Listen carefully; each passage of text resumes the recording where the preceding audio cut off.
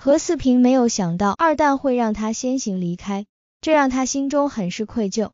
但为了自己，也不知道这野狼咬到他会不会出事，所以还是有点侥幸心理。二蛋哥，那就麻烦你了，我先回去了。谢谢你的救命之恩，你要小心点呀。二蛋专心地拿着火把与这些动物对峙着，摆手说道：“赶紧回去，让大家都不要再来乱葬岗，快点走。”何四平咬咬牙，抱起怀中的兔子，便立刻往村子里面跑去。只留下二蛋一个人对付这些动物，看着眼前动物们一个个凶神恶煞般的样子，二蛋已经完全明白了，这些动物已经完全被感染病毒了。他们此刻是谁都不认，谁都听不进去的，只想着对人进行攻击，这是非常可怕的情况。果然，二蛋用与动物交流的声音与他们交流，一点用都没有，反而让他们身上的戾气更加狂暴起来。一只野狗的力气更加凶暴，率先就冲了过来，对着二蛋的脸蛋咬去。好在二蛋将火把重重的砸在了狼狗的身上，只见狼狗发出一阵阵哀嚎，不敢再朝他扑来了。如果碰到别人，没有夜光眼，估计早就成了这些动物的食物了。可是二蛋就像是白天一样，看得清清楚楚，眼前有多少动物，他们现在是什么情况？都了解的一清二楚，这么多动物都将他围了起来，也是害怕他手中的火把。但二蛋也看出来了，这些动物很可怕，嘴角流出的哈粒子更是一波接一波，可见他们现在是非常凶残不说，甚至是见到人会主动发起攻击了。不行，我不能就这样跟他们耗着，这样子我会吃大亏的。我得想办法让自己脱身，回到村子里面想想办法再说。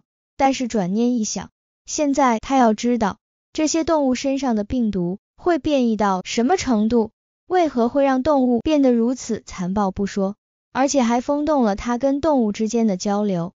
要是真的后天领导来了，这些动物如果都冲出去，那可是谁都负不起这个责任的。二蛋从身后拿出一只瓶子，那是之前带过来的，将那瓶子打开后，往地上倒成一个一字形。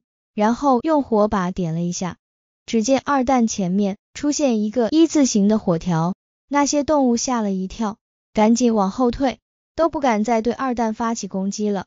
见动物都害怕往后撤，二蛋算准时间，这些地上的汽油也只能维持两分钟，他必须要在二分钟的时间内立刻甩开这些动物。二蛋将汽油再次倒在那快要熄灭的一字火苗上。只见火苗猛地窜起来，那些动物都掉转头，再次后撤。二蛋见机，直接将火把朝着他们扔过去，立刻拨腿就跑。那些动物停顿了一下，绕过去，朝着二蛋猛烈的追去。二蛋明白，要想甩开他们，得想个办法，只能绕过乱葬岗，才有机会逃离这可怕的地方。但是现在他要拿到一只死的动物回去。这样才能进行研究，于是便引着一只野狗，朝着之前他获得鲤鱼的那个深潭跑去。人和野狗一起跳进了深潭中，二蛋在空中紧紧的抓住了野狗的嘴巴，双脚夹住野狗的腿，一同掉入了深潭中。人和狗一起掉入深潭中后，只见激起浪花一米多高，二蛋闭着气，更是在水底下使劲的抱紧这只凶狠的野狗。硬生生在坚持十分钟后，将野狗给淹死了。直到野狗没有了气息，二蛋从财深潭中游了上来，拖着那只死野狗来到了岸边，喘着大气，真是太惊险了！真没有想到，现在的何家村变成这样子。检查一番后，发现野狗确定是死掉了，才背着那只死狗回到了何小琴的家里。他打电话叫来了村长，杨庆元也来了。几个长老也闻声来了。此时，在桥头，何四平抱着那只兔子，一脸正义的指着何君君说道：“小子，没有想到吧？我四狗子命不该死，平安的回来了吧？”何君君确实没有想到，这个四狗子如此厉害，居然真的让他回来了，这让他很是失望。张倩如很开心，见到何四平回来了，立刻接过他怀中的兔子。只是兔子却咬了张倩如一口，吓得张倩如将兔子给扔了，兔子快速的就溜走了。但是何君君却冷笑一声道：“看吧，虽然你抓了只兔子回来，可是你没有保护好倩倩，你还是没有安全感呀。”见到张倩如那痛苦的样子，何君君却是一把抓过张倩如，将她的手指头含进了嘴里，替她将血吸掉，然后用手紧紧的抓住她的手指头，鄙视的看着何四平说道：“你看到没？他最虚的方式就是这样。”而是不，你去拿个东西来讨好他，只有跟着我，他才能过上幸福的生活。何四平彻底傻眼了，心中免不了有种失落，但没有办法，他只能眼睁睁的看着张倩如眼神中的委屈与失落，似乎这只兔子咬了他，让他对何四平很失望。倩如，我们走，这小子输了，本以为会赢，没想到被一只兔子给搞砸了，哈哈哈。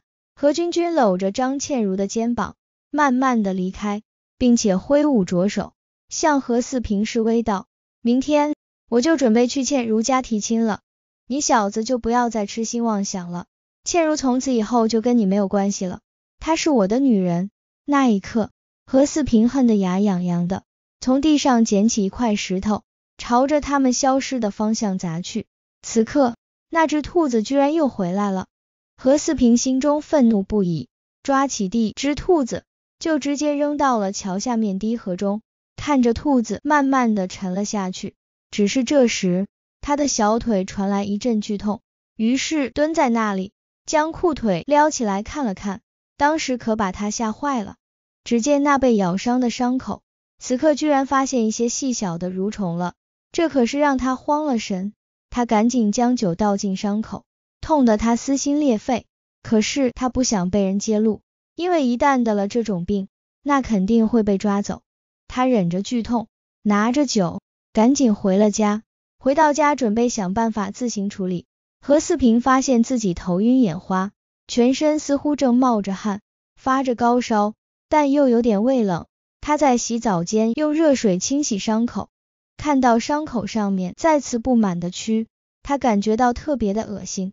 慌张的拿着镊子，一条一条的给夹了出来，那种痛苦的感觉让他痛得眼泪哗哗。直到这个时候，他才发现自己犯下了不可饶恕的错误。好不容易清洗完，他战战兢兢的赶紧回到床上，用被子蒙住了身体，咬着牙，忍受着病毒带来的一切身体的腐蚀。四狗，你回来了吗？刚才去哪里了呀？刚才巡查队还在跟我们说，不能让人跑到外面去。你告诉娘，你刚才去哪里了呀？何四平此刻心中无比的慌张，他害怕了，慌张了。为了不让母亲担心，只能咬着牙，装作瞌睡的样子，掀开被子回应道：“娘，我没事，你就放心吧，我先睡了。”好，四狗，你要是有什么事情。一定要跟巡查组说呀！现在他们还在调查这个事情。好了，知道了。娘，你赶紧睡吧。待母亲走后，何四平突然间眼前一黑，瞬间就晕倒在床上。张倩如被何君君送回家，在他家前面被何君君抱住，吻了他一下，他却鬼使神差的没有拒绝，反而硬是让何君君差点拉着他回家了。回到家的他用创可贴粘住被兔子咬伤的手，主要是何家村的人经常被小动物咬伤，一般都是不去看医行，认为并不重要，觉得像兔子这种动物并没有什么毒，也就用点酒精清洗伤口，或者贴个创可贴了事了。洗完澡的他坐在床上，拿着书怎么也睡不着，想到今天何四平为了向他证明有多爱他，居然一个人涉身犯险。深入乱葬岗，硬是抓了兔子回来。想到他并没有出来阻止何君君的挑衅与羞辱，刚才还接受了何君君的吻，他的心里很难受，觉得太对不起何四平了。也不知道他现在怎么样了，肯定心里难受死了。但是当他感觉到自己突然间有点渴，明明刚才回来了喝了水，现在又开始渴了，而且头上还冒冷汗，让他以为自己是有点感冒了。倒了杯温开水，喝了点感冒药，躺在床上的他反而越来越不安，心情异常的慌张，而且手指头还微微的站立，神经不停的抖动。他以为是伤口可能没有清洗干净，当时不安的揭开了伤口，看到伤口上面居然出现几条小蛆时，吓得尖叫起来。睡着的父母听到张倩茹的尖叫声，立刻冲了进来，望着女儿手指头上那慢慢开始腐烂的伤口，还能肉眼见到的蛆，家人也是吓坏了。娘他娘，赶紧联系村委会与巡逻组的人。倩茹怕是真的被感染了，我们赶紧送医院吧。村委会与巡逻组的人接到电话，快速赶了过来，一看情况不妙，立刻就直接开车往医院送去。此时的二蛋回到何小琴家里后，看着院子里面那只狼狗，心里一直在想着，这只野狗虽然死了，但如果它身上也有病毒，肯定就会有症状。但是现在自己并没有医院的器械。根本就化验不了，更何况这动物与人类不一样，它的一些方法在动物身上并不好使。不行，我得解剖这只狼狗看看，要不然明天下午前我是根本无法找到方法治疗的。二蛋戴上手套，拿着刀将那只狼狗进行了剖腹，取出了里面的器官。当时发现并没有任何的异常，也看不出这只狼狗到底有没有感染病毒。正当他有点丧气的时候，突然间，一个女人站在院子门口，笑嘻嘻的叫了一声“二蛋哥”。转眼望去，只见秦雨飞居然来到了家门口，这让他很是诧异。雨飞，这么晚了，你怎么来了呀？秦雨飞背着制药箱，手上还提着一个保温杯，开心地冲了过来，对着二蛋说道：“二蛋哥，我担心你在何家村有困难。”我怕你饿着肚子，所以过来给你送吃的。二蛋看到他手上的保温杯，心中很是感激，于是接过东西后，便和他坐在院子里面聊着天。二蛋哥，你怎么皱着眉头呀？是不是出什么事情了？我来的时候都看到你们村子里面有巡逻组，有一家人好像出事了，刚刚开车送医院去了。送医院？这是怎么回事？有问是什么情况吗？秦宇飞摇了摇头，尴尬的说道：“我一时心急，想着你没有吃饭，所以就没有多问。不过景区的杨总经理刚才也在现场，你问问就知道了。”虽然二蛋吃了晚饭，但是不想拒绝秦宇飞的心意，只是点了点头，于是拿出手机打给了杨庆元。刚开始电话没有接通，秦宇飞喂着二蛋吃着他亲手做的红烧排骨，心里乐开了花。第一次。电话接通了，二蛋赶紧询问刚才是哪家出了事情，为何要送到医院去，得了什么病？李总，刚才张大爷家的倩如妹子，好指头好像被什么东西咬了，伤口瞬间腐烂，并且还长了蛆，所以送医院去了。现在我们也不知道这跟乱葬岗的事情扯不扯得上。二蛋一听，心中一慌，顿时就站起身来。走向那只被解剖的狼狗。当他看到被解剖的狼狗时，那一刻他震惊，脚步不由得往后退了几步。二蛋哥，你怎么了呀？见到二蛋吓坏的样子，秦宇飞赶紧冲了过来。看到眼前的一幕时，他恶心的捂着嘴巴，大叫一声，害怕的躲到了二蛋的身后。原来解剖不到十五分钟，刚刚还看起来很好的狼狗身体。此刻早就被密密麻麻的蛆虫给覆盖了。我的天，二蛋哥，这是怎么回事呀？太吓人了！二蛋将秦宇飞往后推了几米，拿着棍子挑了挑那些开始腐烂的肉，心中开始显得有点恐惧起来。让他没有想到的是，这只狼狗死了不到一个小时，现在就腐烂成这样子，这简直就是很可怕的事情。杨总。你带着巡逻姐和村委会的人赶紧到我家来，有要事商议，快点呀！打完电话，二蛋蹲下来，一直盯着眼前指头狼狗看。再想到刚才张倩如出事了，他觉得这次病毒怕是控制不了。秦宇飞作为上武县第一人民医院的潜力医生，他刚刚确实被吓坏了，但是很快就调整好了心态，蹲在二蛋的身边。同样盯着这眼前这可怕的一幕，不禁摇着头。二蛋哥，这是什么情况？他们是得了什么病吗？二蛋想了想，叹着气说道：“这是一种易促病毒，应该是从国外传进来的，而且肯定是一种人工合成的病毒，非常的可怕。”什么？人工合成的病毒？二蛋点头说道：“是的，这种病毒我只是初步觉得是异促病毒，不知道有没有变异。如果一旦变异，或者大面积扩散，那可是相当可怕的啊！那这样子怎么办？何家村可是有好几百口人呀，要是这样子，那大家岂不是会受到前所未有的影响？杨庆元带上巡逻组和村委会的人都来了，冲进来看到眼前的一幕时，大家都惊呆了。二蛋兄弟，这是什么情况？这些区区跟张倩如手指上的腐肉上面的一模一样呀！二蛋站起身来。看着村长那焦急的样子，不禁点头说道：“张倩如肯定是被乱葬岗的动物咬了，现在乱葬岗的动物可能都感染了这种病毒，非常可怕。现在我们必须要上报，并且采取必要的紧急措施了。”村长也是吓坏了，要是真有这种病毒大面积扩散，那是非常可怕的，这种责任是他承担不起的。二蛋点头说道：“村长，现在没有办法。”连夜上报上级卫生医疗部门吧，这种病毒非常的罕见，我们必须要把村民们立刻集合起来，不能让大家跟任何动物有接触，包括自己养的牲畜。村长一听，立刻就走到旁边打电话。二蛋看向杨庆元，立刻说道：“你赶紧把景区工作人员都集合起来，发动大家协助村长工作，第一时间。”让所有人都到景区前面集合，把景区的灯全部打开。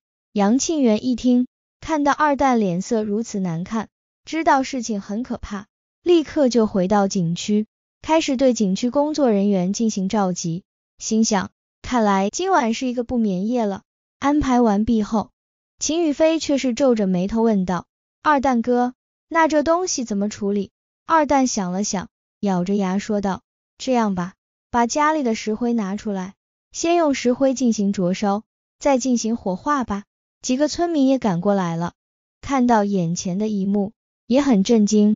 不过听到二蛋一说，他们立刻行动起来，将石灰搬过来，撒在狼狗身上，然后用东西拖到院子外面，用火进行焚烧。看着火苗升起，二蛋皱着眉头，一直在思索，这种异促病毒如此厉害。肯定跟孙芳芳脱不了干系。趁着大家不注意，二蛋给陈芳芳打了一个电话，没想到陈芳芳却是妙接。二蛋哥，这么晚了，你怎么打电话来了？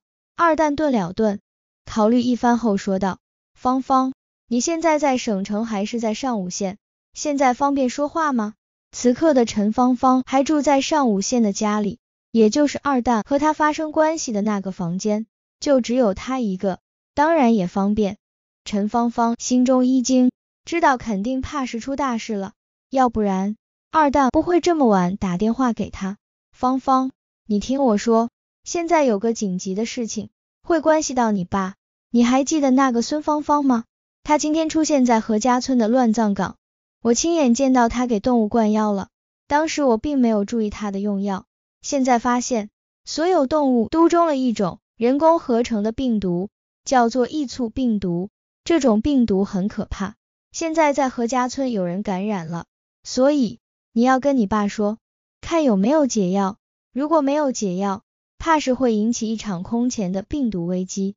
陈芳芳此刻被二蛋的话吓坏了，嘴巴都震惊的有点发声扭曲了，心中越发的不安起来。二蛋哥，你别吓我，真的有这么严重吗？是的。芳芳，你不会骗你的。现在有人已经感染送医院了，但是现在并不知道到底会不会人传人，都是未知数。但是现场的情况是真的很可怕。陈芳芳挂断电话后，久久的徘徊着，来回的踱着步子，想了想后，慌张的换了衣，开着车子便往省城赶。他有必要在今晚要见到自己的父亲。陈院长接到急诊科的电话。说是有一个紧急患者送来了，让他赶紧过去一趟。当时他以为这种病人可能也就是需要紧急抢救罢了，但是见到张倩如的时候，他当时就震惊的愣住了。只见张倩如的整个手掌都开始腐烂，上面布满了蛆，这种情况是他从未见过的。怎么不给他先进行消毒清除呀？陈院长以为护士和医生没有进行紧急处理，可是值班医生赶紧说道：“五分钟前我们已经清理一遍了。”但是这腐烂的程度相当快，我们根本顾及了一头，顾及不了另一头。发生这种事情，陈院长赶紧打电话给到京城的张德全教授。张教授匆匆赶来后，顿时也是傻了眼。不过他在病毒方面有研究，知道这可能是一种细菌性的病毒，所以赶紧与上面的疾病预防与控制部门取得联系。立刻对人民医院急诊部进行了临时封锁，采取了必要的措施。因为张德全担心这种病毒可能会出现人传人的现象，要是真出现人传人的现象，很有可能会出现大面积扩散，这可是一场可怕的事情。此时，张倩如出现了器官衰竭的症状，陈院长立刻安排进行抢救，并且询问张德全教授。现在怎么处理这受感染的手掌为好？张德全的意思是先看血液化验结果后再进行评估，实在不行，遵循家属的意见，先进行结掌处理，确保病毒不再蔓延。但张德全心中并没有一定的把握，也不知道这病毒会有多么大的危害。最终，他还是给二蛋打了一个电话。接到张教授的电话，二蛋似乎明白了什么。二蛋告诉他，目前他也没有太多的眉目，不过正要想尽办法寻找解决危机的药物，但是立刻叫停了他准备截肢的想法，因为这病毒是在血液中存在，就算截肢了，那也一点用也没有。张德全教授此刻是骑虎难下，不过好在省市专家组分两批已经连夜动身前往上武县了，但是面对二蛋在电话中说不能截肢。这让张德全更加不知如何是好。毕竟这种病毒的腐烂速度是他从未见过的。可是现在患者的手掌都开始腐烂，已经开始延伸到了手臂。如果不截肢，很有可能连整个手臂都保不住，甚至会因为器官衰竭直接死亡的。二蛋考虑一番后，叹着气说道：“目前没有控制的办法，只能你们医院用尽一切药物进行治疗。”你们看情况决定吧。张德全也明白，这个时候二蛋可能更加不安，所以赶紧挂了电话，立刻与县卫生部门的相关专家立刻开了一个紧急会议。二蛋一直在想着，这种病毒沾到肉身，腐烂速度如此之快，那肯定是因为动物的撕咬才将病毒传染到人体的。不过现在这么多人都近距离看过狼狗身上的蛆。但并没有任何人感染，可见并不会出现人传人的感染。这时，村长匆匆赶来，喘着粗气说道：“村民们都紧急叫醒，集合在景区前广场了。接下来我们怎么办？”二蛋明白，这后续的工作是村长的事情，但他只想知道张倩如是怎么被感染的。对了，晚上张倩如跟我们村的何君君一起出去，听说是被一只兔子给咬了。好像那只兔子是四狗子从乱葬岗捉回来的。听到村长这样一说，二蛋猛地说道：“坏事了，我忘记了一个人。四狗子，他有没有到广场集合？”村长也是太忙，一时疏忽，似乎并没有见到四狗子，直接拍着脑门说道：“我的天，我怎么一时疏忽把他给忘了？”但是他爸妈说，他回来后就直接睡了。二蛋知道大事不妙。这个四狗子肯定有问题，所以便说道：“村长，你赶紧叫两个人，我们一起赶到四狗子家去。这个四狗子肯定也被感染了，而且他捉回来的那只兔子，我们要第一时间找到，否则就真的要出天大的事情了。”几人一听，立刻就慌了神，大家赶紧往四狗子家跑去。此刻，接到何家村病毒报告的上级部门。连夜组织医护人员正朝着何家村赶来，跑到四狗子家一看，只见四狗子已经昏迷不醒了。二蛋掀开被子一看，四狗的腿已经感染了，同样的情况，同样的布满着蛐蛐。大家戴上手套，赶紧把他给抬下来，抬到院子外面去。记得一定要通风，找个人去拿点石灰过来。二蛋的命令瞬间就让大家紧张起来，分头行动。很快，四狗子就被抬到院子里。二蛋赶紧替他把脉，发现他只是昏迷过去，暂时并没有性命危险。不过，如果不及时救治，很有可能会瞬间器官衰竭，导致休克死去。当时挥洒在四狗子腿上。看到那些蛐蛐瞬间都掉落下来时，二蛋似乎看到了希望，发现这些蛐蛐对石灰有着天然的害怕，那些腐烂的肉也因为石灰的反应出现出血的现象。不过，当石灰与腐烂的肉身发生变化后，没有了石灰盖住，腐烂速度再次加剧了。二蛋哥，你看，那些蛐蛐又冒出来了。二蛋似乎明白了，立刻又扔了几把石灰放在他的伤口上。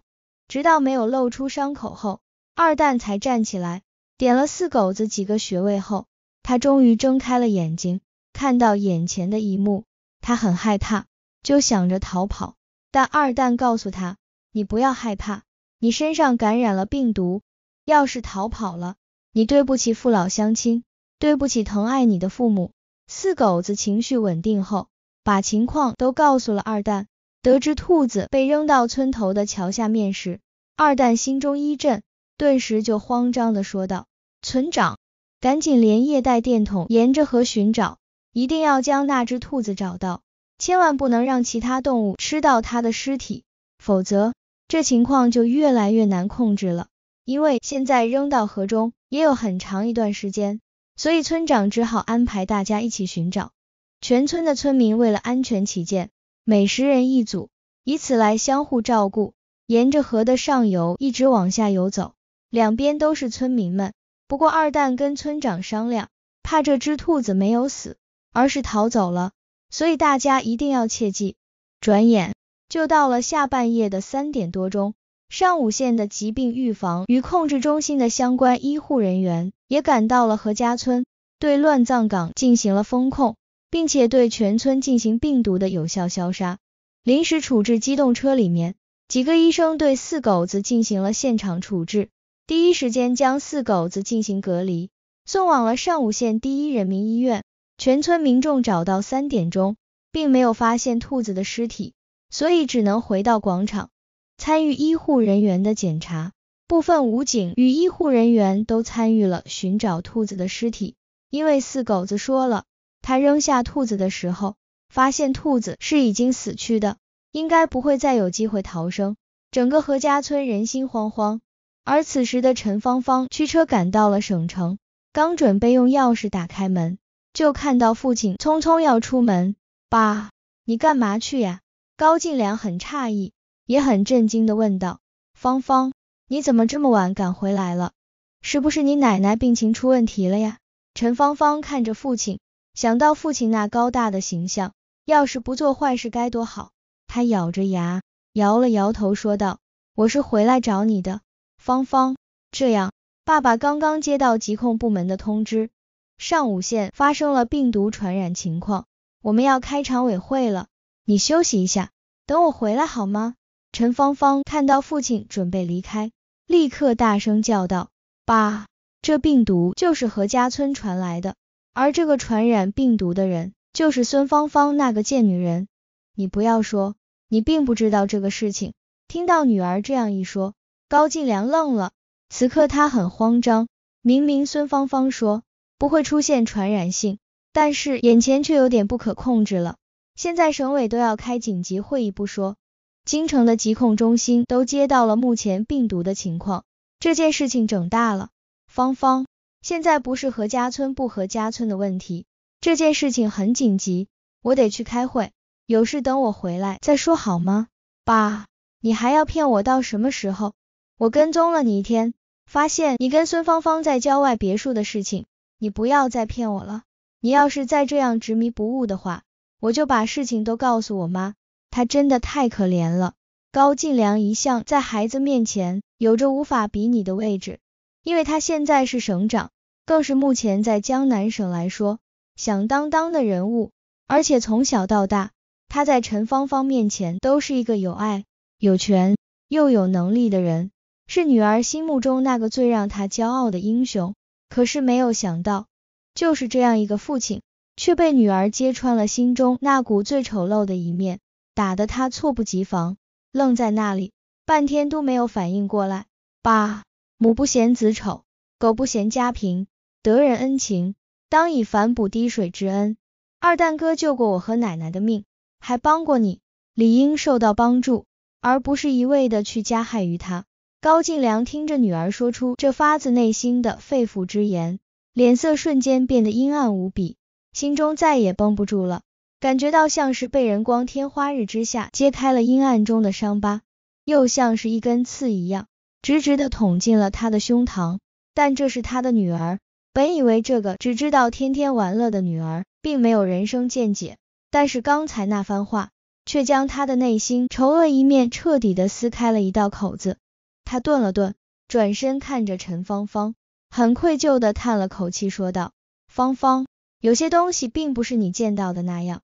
对我承认是背叛了你妈，但是我并没有要加害于二蛋。”他救过你奶奶，如果我真加害于他，你奶奶也不会再认我这个儿子的。所以你要相信爸爸。至于这个孙芳芳为何出现在杨家村，等我调查后再给你一个解释好吗？可是陈芳芳此刻根本不太相信父亲的话，因为她被骗过，所以再也不相信父亲的谎言，而是阴冷的说道：“爸，二蛋哥说了，现在何家村的情况很严重。”乱葬岗所有的动物都感染了，而且还咬伤了人。这个病毒可能会很快就外泄，如果不快点让孙芳芳拿出解药，那真的就完蛋了。高进良此刻心里也有点慌张，觉得孙芳芳是真的完大了，所以他必须要打电话给孙芳芳了解情况。现在根本说不清个所以然。我知道了，你先在家里休息一下，等爸回来再跟你解释吧。高进良叹了口气，立刻就出了家门，坐上司机的车，到了半途便停下来，给孙芳芳打了一个电话。下半夜被吵醒，孙芳芳有点不开心，正是最想睡的那会儿，这可激起了她的懒床气。谁呀？现在几点了？老娘在睡觉呢。可是高进良却忍了忍，低声道：“是我，高进良。哦，亲爱的，怎么是你？”怎么这会给我打电话了？高进良狠狠的咬着牙，低声道：“我还想问你，到底怎么回事？你不是说那个打在动物身上的病毒不会有问题吗？”“是呀，这药也是何公子送给我的，我只不过对这个药进行了重新配方而已，药效又翻倍了而已。但实验证明，这种药不会动物袭击动物的。”高进良却是很生气的骂道：“这些我不管。”可是现在何家村却闹翻了天，全省的医疗防护小组都往那边赶，省市医院都抽调了好多医生和专家前往上武县。现在何家村出现了病毒传染扩散现象，有两个已经送进了县人民医院重症监护室，进行了全方面的隔离。你这个祸给惹大了！孙芳芳也是愣住了，没想到事情闹这么大，瞬间就让他吓得有点不知所措了。亲爱的，那我们怎么办？高进良叹了口气，直接说道：“还有什么办法呀？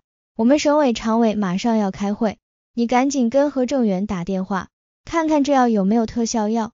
如果能控制下来，我倒是有办法处理；一旦控制不下来，我们都可能会完蛋。”说完话，高进良就挂上了电话，钻进车里，快速赶往省委大楼，马上要进行紧急会议。孙芳芳从没有想到事情会闹这么大，吓得整个人都慌了神，足足愣了两分多钟，才缓过神来。慌张的她赶紧拨通了何正元的电话，谁知道何正元接通电话后，立刻就挂了。但过了好大一会儿，何正元才不耐烦的接通了电话。听到孙芳芳说病毒的事情时，他也猛地清醒过来。什么？怎么可能？这种病毒是暗厂里面偷卖的私货，是实验室出来的验证品，一般七天就会消失。不可能出现如此大的病毒扩散。我告诉你，孙芳芳，别拿这件事情想蒙我。孙芳芳很是无语，直接慌张的说道：“何公子，你要是不相信，你直接打电话给高省长，现在他接到通知，都开紧急会议去了。几百辆车驶向了何家村，现在那里成了病毒的中心。不可能，这种病毒曾经试验过很多动物，根本不会出现人传人的现象，更不可能被动物咬伤后将病毒传染给人类的。你这是放狗屁！”但是面对不冷静的何正元，孙芳芳直接说道：“这件事情你如果不相信，你立刻打电话，反正你神通广大。”上五线的一切事情都逃不过你的眼睛，你怎么不打听一下再下定论？现在的情况无法控制了，你得想办法救我，赶紧想法子救场。高省长说了，否则我们都得完蛋。何正元开始慌张了，他相信孙芳芳说的话了，因为此刻他住的酒店外面已经听到救护车和警车的声音了，包括消防都出动了，可见肯定是出了大事情。异常慌张的何正元立刻挂掉了孙芳芳的电话，赶紧打电话给到卖家，一问才突然间明白，按理来说，病毒不会进行一体传播，除非本身这些动物就感染了某种病毒，从而当这种易促病毒进入动物身体后，立刻产生了变异，变成了一种具有极强传染源的病毒。那一刻，何正元整个人瘫痪在床上，额头冒着大汗。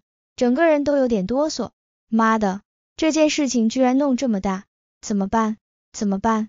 慌张不已的何正元此刻想到逃到国外去，但是高进良的短信发过来了，严重警告他必须留在江南省，哪里不能去，让他赶紧了解病毒的来源与情况。三个小时后，在上武县与他会合，他带京城的专家组过来现场督办。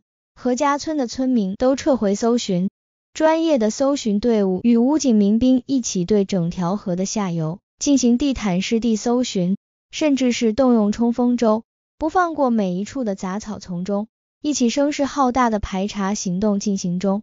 二蛋与秦宇飞一起回到何小琴的院子里面，他们也无法入睡，一直在想着这种病毒该怎么预防与控制，毕竟眼前这情况太可怕了。要是真的会出现人传人现象，那就真的像电影中的丧尸那么可怕了。何家村一时之间被笼罩在一片恐慌之中。二蛋思来想去，觉得还是打个电话给陈芳芳，问问他到底跟干爸聊的怎么样了。如果不行，那就得通知相关部门赶紧通缉孙芳芳了。陈芳芳接到二蛋的电话，显得很着急，一脸的委屈。他说高进良刚刚开会回来，干爸要跟他说话。接过电话，高进良板着脸，眼神里冒着一股愤怒，不紧不慢的说道：“二蛋，你有什么话就直接说吧。”从声音中，二蛋听出了高进良的着急与不耐烦，似乎对他有气，于是尴尬的说道：“干爸，我在乱葬岗发现了孙芳芳的情况，如果现在不找到孙芳芳，后果会很严重。高进良却是咬着牙，皱眉说道：“你什么意思？我的意思很简单，通知警方，立刻对孙芳芳进行逮捕，否则后果真的不堪设想。”高进良却不以为然的说道：“这种病毒真有这么可怕吗？还需要逮捕他？你是故意的吗？”二蛋有苦说不出，一脸的无奈，但还是说道：“干爸，如果你对我有看法。”我希望暂时保留了。我想，如果江南省真出现大面积病毒的扩散，对你意味着什么？你比我更清楚吧？两人的对话慢慢的充满着火药味。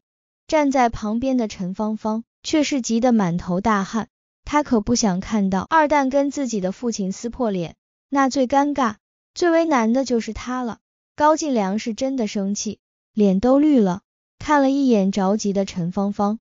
压抑住内心的愤怒，考虑了一番后，才警告道：“二蛋，如果你还认你的干娘干奶奶，还认我这个干爸，你就给我把嘴巴闭上。接下来我知道怎么做，不需要你来告诉我。干爸，你怎么这么糊涂？现在是什么情况？你是没有到现场来看那两个被咬伤的伤者情况有多恶劣，都住进了 ICU，而且那只带有病毒的兔子现在还没有找到，也不知道会不会有更大的船员染出现。你怎么还在袒护那个小狐狸精呢？高进良一听就更加恼火，觉得现在这个二蛋有点无法无天，居然敢这样对他说话，瞬间就挂掉了电话。愤怒的高进良生气的。将手机往桌子上一拍，走到落地窗前，看着慢慢变亮的省城天空，不禁掏出一根烟。他很沮丧，很恼怒，更是觉得自己的身份被二蛋给藐视了。爸，你就听二蛋哥一次，把那个孙芳芳交出来吧。再说了，这事跟你没有关系，你怕什么呢？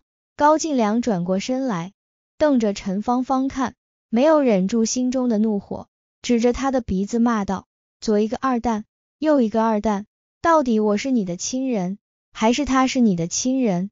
你怎么胳膊往外拐呢？”陈芳芳那一刻傻眼了，从未见过父亲对他发过这么大的脾气，这深深的伤了他的内心。爸，你以前不是这样子的，你真的变了。二蛋哥说的没有错，自从半年前开始，你就彻底变了，不再是以前那个慈祥的父亲了。高进良这会无法忍住心中的怒火，走过来，一巴掌扇在陈芳芳的脸蛋上，大声骂道：“放肆，敢这样跟你爸说话，真是反了天了！”那一刻，陈芳芳真的是愣住了，心中父亲的形象瞬间就崩塌了，捂着被打的脸蛋，眼含着伤心的泪水，痛哭的说道：“爸，既然你执迷未悟，那我就自己去报警。”说完话。陈芳芳哭着就要离开，那一刻，高进良却慌了，直接说道：“你给我站住！没有我的命令，你哪里都不能去。”可是陈芳芳是一个说到就做到的人，只要她认定的事情，谁劝也没有用，所以直接便往外走，根本就不听父亲的话。高进良慌了，直接就冲过去，一把抓住女儿的手，将她拉了回来，推到沙发上。指着她的鼻子说道：“你给我冷静一下，你怪爸爸没有关系，但是你要知道，如果真把孙芳芳给抓了，他会牵扯到我。我现在有好的方法，会很快解决这件事情，所以你给我冷静的待在家里，哪里都不要去。”陈芳芳看到父亲那扭曲的脸蛋，真的太害怕了，从来没有见到过父亲那狰狞的面孔，吓得他不敢说话了，心里的崩溃。往往能让一个人失去任何的斗志。此刻的陈芳芳已经彻底崩溃了。高进良想了想，这样也不是办法，于是便抓着陈芳芳下了楼，开着车子来到校外的别墅，将她扔到了地下室，锁上铁门，对着她说道：“你现在太冲动了，在这里给我冷静几天，里面有吃有喝的，好好反省一下你对我说的话。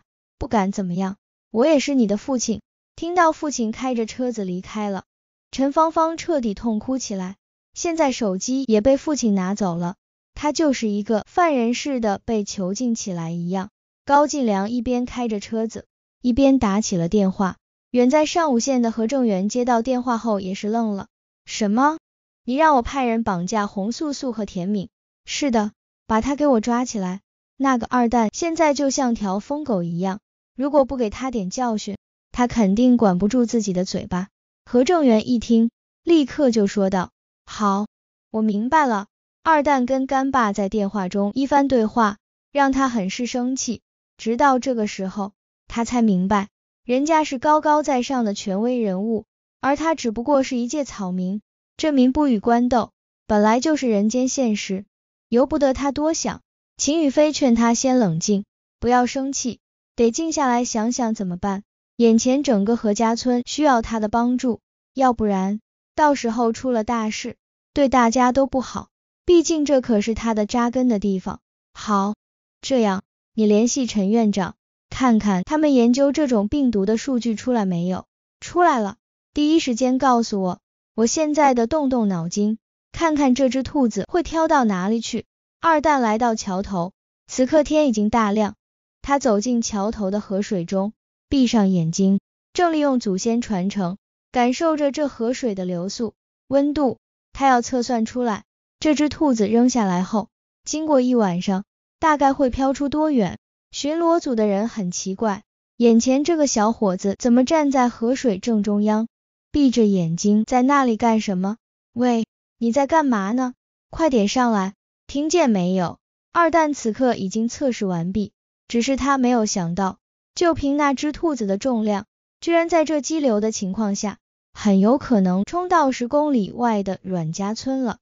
不过再想想，由于这条河的坡势往下游比较陡。这样的情况也有可能发生。喂，你听到没有？我们说你呢，赶紧上来。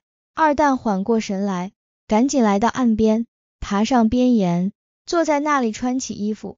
巡逻组里的人见到眼前这个人，微微一笑，也是皱着眉头。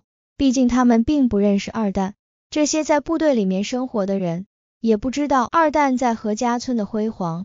二蛋朝着他们挥了挥手后。便跟着巡逻组回到景区的临时指挥所。临时指挥所的总指挥暂时由上武县的副县张成林担任。看到二蛋走了进来，立刻就像见到了救星一样。李二蛋，我可把你盼来了。刚刚京城的张教授打电话说，让我们赶紧与你取得联系，说只有你能帮助我们控制住这场病毒的扩散。二蛋皱着眉头，心中不免有点担忧，心想。这个张德全又给他挖了一个坑，简直就是把他往火坑里面推了。没有，没有，我哪有这样的本事？只是我对这些疑难杂症比较感兴趣而已。但是张成林是从上武县成长起来的一名副县长，之前的斗牛大赛就是在他当时任职的镇上举行的。这次选举顺利担任了副县长，怎么可能不知道二蛋的能力呢？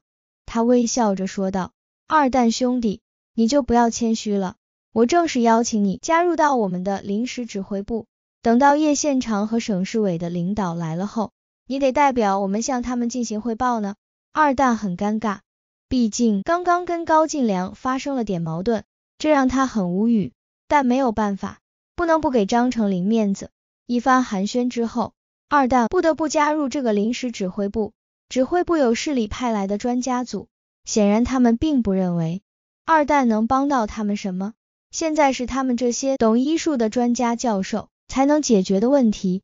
虽然张成林极力推荐，但在这些知识分子眼里，二蛋只不过一介农民，自然是对他不会另眼相看。所以他只不过挂了一个头衔而已。那些专家教授认真研究分析这次病毒，也根本就把它晾在一边。这倒好，让二蛋反而轻松。专家组通过上武县第一人民医院传来的信息分析，这次的病毒异常，估计是已经变异型的病毒，并不会出现人传人的现象，所以让副县长张成林不要担心。二蛋见自己没事，于是便想到那只兔子的事情，赶紧告诉了副县长张成林，让他通知巡逻组与现场处置组，立刻将重点放在阮家村，一定要将那只兔子找回来。否则，很有可能会出现大面积的扩散。此时，经过一晚上的治疗，陈院长和张德全发现，张倩如雨和四平的伤情得到了缓解不说，似乎伤口并没有进一步溃烂，而且全身的仪器监控也显示正在好转。得到这好消息，专家组的意见却是认为，根据目前的情况来说，没有必要引起大家的恐慌。这只不过是一次很正常的动物感染罢了，按照疾病预防与控制部门的相关处置措施，就能轻松控制，不必要大惊小怪。听到这些专家组的意见，二蛋当时就急了，因为他的祖先传承告诉他，这种病毒一旦发作到临界点的时候，会有回光返照的假象，也就是所谓看到伤口的愈合，但实际上。这种病毒的危害是非常致命的，临界点过后的三个小时，伤口的发作会以爆炸性的发作，很有可能瞬间就结束了伤者的生命。各位领导，虽然我不是医生，但我对疑难杂症，包括我们国内的中等民间奇门遁甲都有研究。我认为这次并没有那么轻松，这次的病毒有隐藏性的一面，你们要三思呀。市里的一位专家冷笑一声道。这位小伙子，你既然不懂医术，你的意见可以自己保留。现在站在你面前的都是全省赫赫有名的专家教授，难道他们不知道这一点吗？被对的哑口无言的二蛋心中很是委屈，他只好低下头，闭上了自己的嘴巴。但是细细想来，这些专家组也说的没有错。从表面上来看，从医学上面来分析，根据何四平与张倩如的伤口恢复来看，这并不是一起会导致人传人的病毒。能控制住，就不会达到大面积的扩散，自然就会有这样的结论。被这些专家组的人看不起，二但只好灰溜溜的走出临时指挥部，心里头很不是滋味。他在想着，眼前留在这里也没有用，不如回到自家院子里面去研究一下这个病毒，看看有没有什么好方法。不过回到小院，秦宇飞就匆忙的拿出手机给到他，焦急的说道。二蛋哥出事了！二蛋紧皱眉头，接过手机一看，当时就咬着牙，大声骂了一句。原来他接到了田敏和洪素素被绑架的图片，上面要求他不要参与这次的病毒调查。如果敢把看到孙芳芳出现在乱葬岗的事情说出来，那田敏和洪素素就等着收尸。妈的，高进良真是个混蛋，居然敢这样威胁我！秦宇飞也慌了，立刻说道：“二蛋哥，怎么办？”二蛋愤怒的咬着牙想了想，只好说道：“放心，只要我不供出孙芳芳，他们两个就不会有危险。但是我不能让何家村和周围的老百姓生活在恐惧之中，更不能让这种病毒伤害老百姓。我得想办法，看看能不能化解这场危机。至于跟他们这帮王八蛋的恩怨，”迟早有一天会亲身了解他们。秦宇飞看着二蛋那生气的样子，心里也不好受，只是有点担心的说道：“二蛋哥，现在情况得到了控制，这么多的医护人员都来了，你就放心吧。”二蛋摇头说道：“就是因为这样，我才不放心。我现在最担心的就是那只兔子，因为目前那只兔子死了，它身上带有病毒。”而乱葬岗里面的动物并没有跑出来，这只兔子就是一个意外。一旦有人捡到，或者被人吃掉，那就可怕了。各位听友朋友们，被窝故事继续连载精彩故事，如果觉得故事好呢，就点击订阅、点赞支持一下，你的支持是我更新的无限动力。想要继续精彩故事，请按照剧集顺序开启下一集。